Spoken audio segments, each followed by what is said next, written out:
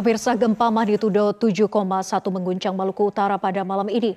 BMKG menyarankan warga untuk mengungsi ke, darat, ke dataran yang lebih tinggi karena gempa berpotensi tsunami.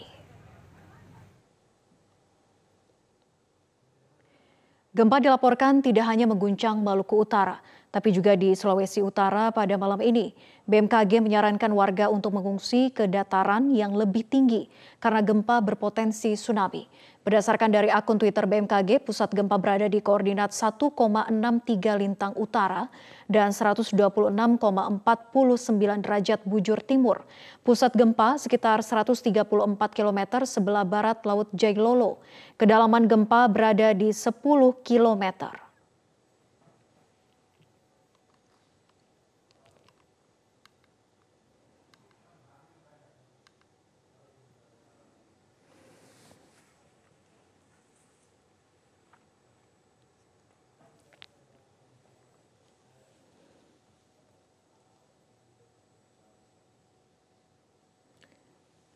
Yang Anda saksikan saat ini adalah informasi yang kami terima dari BMKG yang juga dapat Anda lihat dari aplikasi BMKG.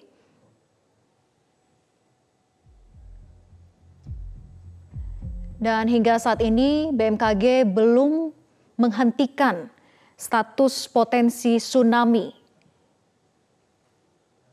dan tadi berdasarkan informasi kami peroleh, memang pemutakhiran data ini dilakukan hingga dua jam ke depan sejak pertama kalinya gempa terjadi yaitu sekitar pukul 1 lebih 17 waktu Indonesia Timur.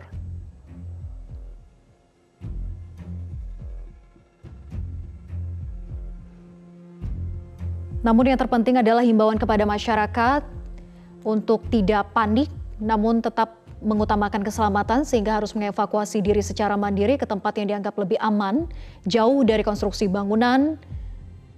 Dan jika memang sedang berada dalam uh, bangunan ataupun rumah untuk dapat menyelamatkan diri, yaitu melindungi area kepala terlebih dahulu jika memang tidak dapat keluar dari area tersebut.